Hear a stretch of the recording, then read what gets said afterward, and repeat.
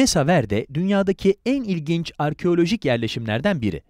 Amerika Birleşik Devletleri'ndeki en büyük arkeolojik yerleşim yeri ve içerisinde 430'dan fazla yerleşim yeri ve 600'den fazla uçurum yanında yerleşim var.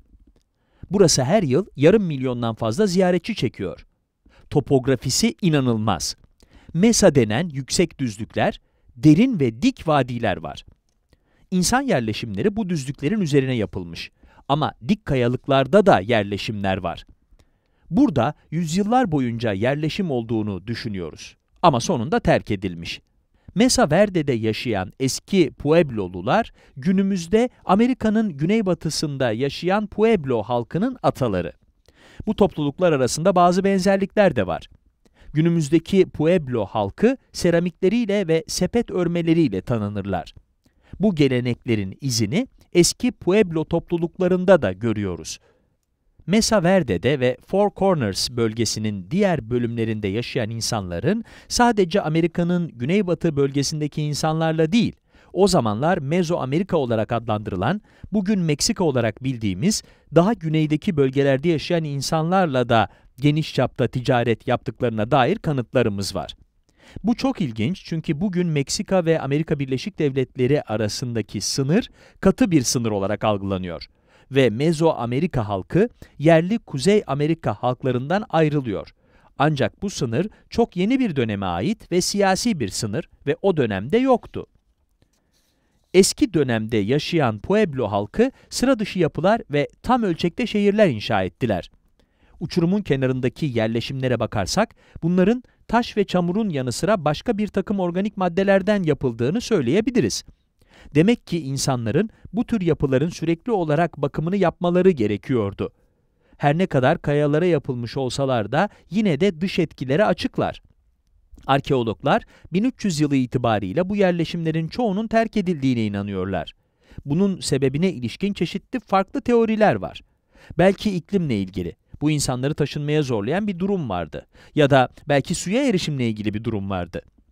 İnsanların Mesa Verde'yi terk etmelerine neyin neden olduğundan tamamen emin değiliz. Ancak bildiğimiz 1300'den sonra büyük ölçüde bu uçurum yerleşimleri artık kullanılmıyordu ve bu da artık bakımlarının yapılmadığı anlamına geliyor.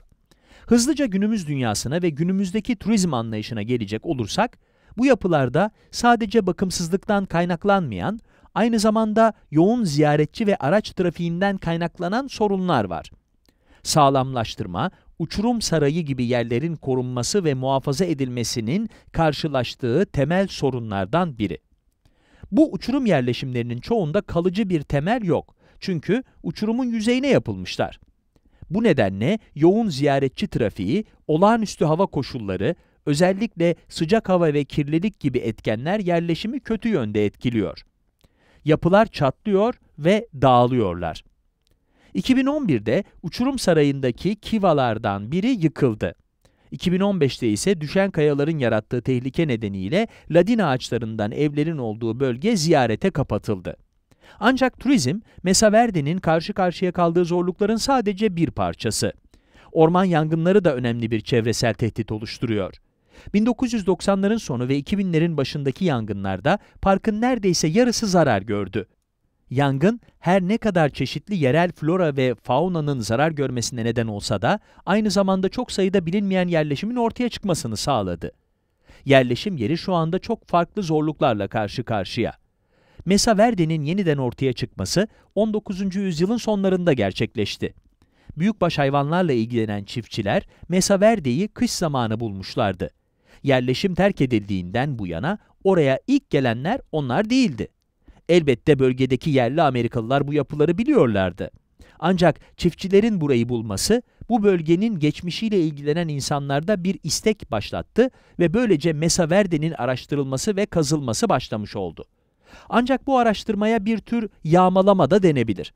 Bazı insanlar buradan bir şeyler çaldı, yerleşimlerde kamp kurdular. Kısacası Mesa Verde'yi koruyacak hiçbir şey yoktu. Örneğin 19. yüzyılın sonlarında tarihi eserleri ve insan kalıntılarını alıp İsveç'e götüren biri olduğunu biliyoruz. Bu durum bizi 19. yüzyıldan 20. yüzyıla dek gerçekleşen kazılar ve yağmalarla ilgili problemlere geri getiriyor. Burayı korumak ve daha fazla zararı önlemek için adım atan insanlar da vardı ve bunların en önemlilerinden biri de Smithsonian Enstitüsü'nden Jesse Walter Fuchs idi.